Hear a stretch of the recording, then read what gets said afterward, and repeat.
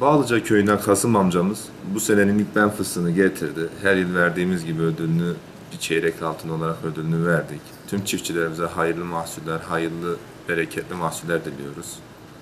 Ee, yalnız şu günlerde fıstık halinde boz fıstık gelmekte. Çiftçilerimiz biraz daha sabreder. Daha boz fıstık içini tam doldurmadan acele edip e, bunu satışa sunmasınlar. Çünkü randımanı düşük oluyor. Daha fıstık içini doldurmamış. Yani zarar yani bir yılın emeğini aman bir an önce toplayayım diyerek ziyan etmesinler. Biraz daha sabretsinler. Kolluk kuvvetlerimizle görüşüyoruz. Bölge halkımızla görüşüyoruz. Güvenlik önlemlerini biraz daha arttırıp çiftçilerimizin biraz daha sabırlı olmasını diliyoruz. Çünkü bir yılın emeği neticede bunlar. Şu an gelen ben, ben fıstık e, normal bir yıldan 20 gün daha gecikti yani.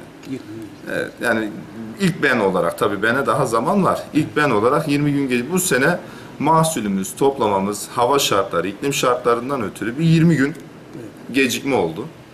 Tabii e, Rabbim çiftçilerimizin fıstığını kazasız belasız toplamayı, hayırlı bereketli günlerde toplamayı nasip etsin inşallah. E, afetten, kazadan, beladan, hırsızdan korusun Rabbim çiftçimizi. Kasım amcamızı da tebrik ediyoruz. Emeğine saygımız var her zaman. Elimizden geldiği kadar ödüllendirdik. Çiftçilerimizi tekrardan uyardığım nokta mahsule biraz toplamaya sabretsinler. Fıstık içini tam doldursun, olgunlaştırsın yani.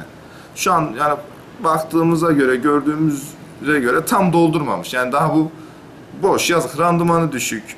Yani değmez bu şeye. Bir yılın emeğine değmez. Teşekkür ederim. Biraz daha sabır diliyoruz çiftçilerimizden. Ben Bağlıca köyünden Kasım Aydın. Bağlıca köyünde arazim var. Fıstık arazisi. İlk ben geldim bu sene. Ken olması için işte gününde, zamanda ilacını atacaksın. Evet. Sütünü süreceksin, gürbesini vereceksin. Bakımını iyi yapacaksın, çocuk gibi. Çiftçilerin ağaçların kururlarını seçecekler. Göz kurusunun ilacını erken atacaklar. Zamanı geçince atsan bir faydası yok. Ağaçların şu anda bile benim bitişik komşularımın üstünde kuru dallar dolu. Onlar zararlı. Sadece hasilat olunca içine gitmeyeceksin.